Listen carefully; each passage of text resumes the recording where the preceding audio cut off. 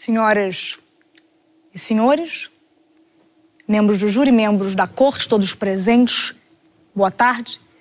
Uh, o caso que nós vamos ver, né, que nós vamos analisar e enfrentar hoje aqui, uh, não é um caso comum. Tá? Trata-se de um caso em que eu vou pedir a vocês que vocês revejam, tá? As suas próprias convicções do que é certo e revejam as suas próprias convicções do que é errado, do que é bem e do que é mal. Tá? É, eu peço que vocês abandonem, abandonem todos vocês a imagem que vocês têm do que é um criminoso. Tá? Não se deixem levar. Não se deixem levar. Tá? Pela uma pele macia, por olhos amendoados. Eu peço para que vocês não olhem para Daniel, tá? Da terceira série B, como Daniel. Mas como Danny Boy, um gênio do crime.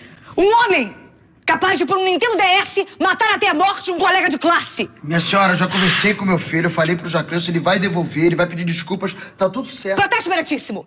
Os autos não foram constados dentro do tribunal, não vale para o júri. Vai lá, tudo bem.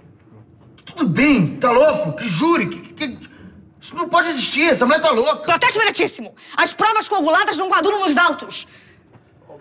Ô, minha senhora, eu não entendi uma palavra do que você falou. Sou só o diretor aqui do Colégio Pinduca. Não, não, meritíssimo. Daniel, ou caveirinha de avestruz, ou pequeno gambá matador com seu rabo enfiando em narizes de senhoras indefesas disfarçadas de crianças em cantinas para fingirem que são sanduíches enquanto você as mata até a morte dentro de uma lancheira na escola durante o jogo das Olimpíadas de Basquete? Ou João? Daniel não é a primeira vez que comete um delito, não é, Daniel? Pois parece que em alguma vez, em algum tempo, um homem foi assassinado e dois Mirabel sumiram de uma lancheira. Onde estava Daniel? Eu pergunto a você, Bretíssimo, onde estava Daniel? Com a lancheira. E os Mirabels? Em seu bolso. Você. Você pode enganar qualquer um, mas não a mim, assassino.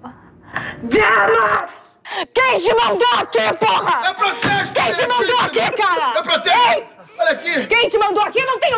Senhor! Eu não tá tenho medo! Eu não tenho medo de quem Dani Boy é hoje!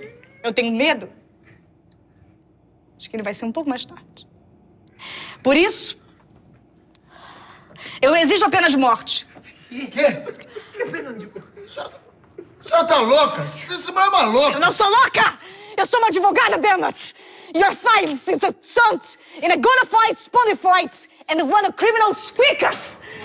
Peraí, advogada, é, a senhora não é a mãe da outra criança? Não, não, oi, peraí. É, eu sou o pai do Mairon. A minha esposa não pôde vir.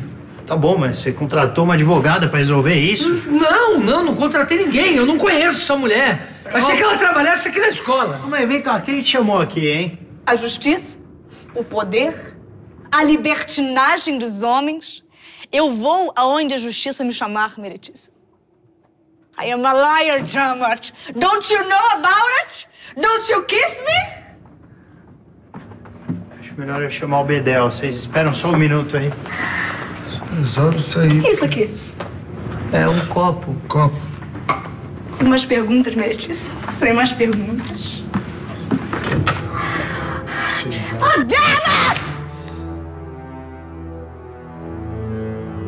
Eles não entendem que para mim a justiça não é uma escolha, é uma necessidade.